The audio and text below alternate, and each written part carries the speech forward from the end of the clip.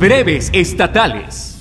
El gobernador de Puebla, Antonio Gali Fallada, afirmó que su estado no se va a privatizar el agua y confió que no prosperará la controversia constitucional que presentó ante la Suprema Corte de Justicia de la Nación el presidente municipal de San Pedro Cholula, José Juan Espinosa, en contra de la ley de la reforma a la ley del agua. Entre carros alegóricos, comparsas y desfiles, cientos de mexicanos participaron la noche del miércoles en el tradicional carnaval de Veracruz que arrancó con la quema de una representación del muro fronterizo que pretende construir el presidente estadounidense Donald Trump. Autoridades estatales reportaron sin afectaciones ni personas lesionadas tras los sismos de regular intensidad ocurridos en las últimas horas en Oaxaca. Según el Servicio Sismológico Nacional, el movimiento telúrico fue de 4.9 grados en escala de Richter. El gobierno de Tabasco acatará el ordenamiento de los juzgados federales y emitirá las actas de nacimiento provisionales a bebés de vientre subrogado. Sin embargo, este documento no abre las puertas a los extranjeros para que puedan salir del país con sus hijos. Así lo informó el coordinador de asuntos jurídicos del estado, Juan José Peralta. Para el punto crítico, Miguel Muñoz.